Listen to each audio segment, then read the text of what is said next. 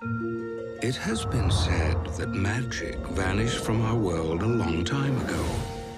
But if there's one thing you can be sure of, I wish you could really talk to me.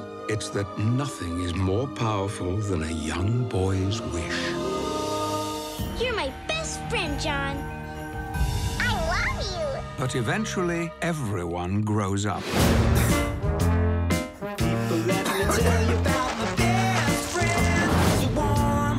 I'm taking Lauren to dinner. You don't think she's gonna be expecting something big, do you? It's been four years, Johnny. You and me have been together for 27 years. Where's my ring?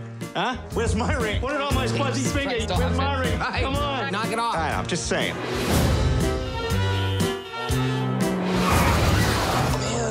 That's my bad. I was sending a tweet. John. Hi, Thomas. How are you?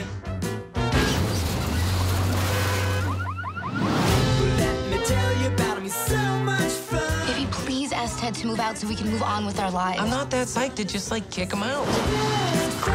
Oh, Lori, hey, you're home early. who are these girls? Oh, my God, where are my manners? Lori, this is Angelique, Heavenly, Shireen, and Sauvignon Blanc. I swear to God, her name is Sauvignon Blanc. Show her your Chevron card.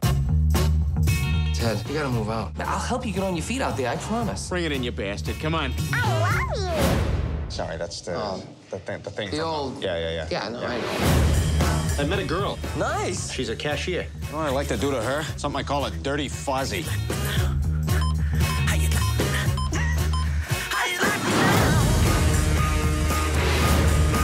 Down here, not looking up your towel. Swear to God, not looking at your funny business. Sometimes I think back to that Christmas morning when I was eight years old. I wish I'd just gotten a Teddy Ruxpin. Ah! Why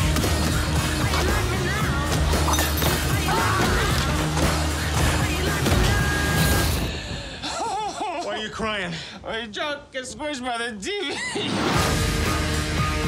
I look stupid. No, you don't. You look dapper. John, I look like something you give to your kid when you tell him grandma died.